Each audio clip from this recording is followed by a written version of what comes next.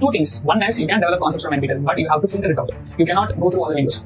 They have to filter it out which is required, which is not required, which derivation is needed, which derivation is not needed, which topic is required, which topic is not required. You can filter it out by going through our gate syllabus with this uh, NPTEL lecture. Okay, you have to filter it out. It is a work. I'm accepting that is why I said that if a normal student is going to prepare a topic within 30 days, it's going to take 45 to 2 months for you if you are going to prepare with NPTEL. But as far as the content is concerned, it's going to be best, no doubt about it. That is why answer for this question. Okay, will NPTEL lectures be uh, useful for gate? Of course, yes.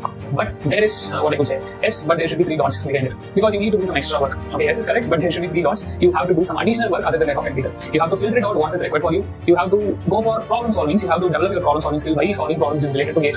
That is what overall about NPTEL. Okay, so my final conclusion is NPTEL lectures are useful. If you are going to prepare for, uh, if you are doing self preparation, then of course you can go for it. Okay, you can go for it, but make sure that you do the things which I said. Okay, which I said uh, from the beginning of the video. So for the students who are going to coaching, I won't recommend you. Um, as of now, I won't recommend you because if you already selected your faculty, if you already selected your teacher,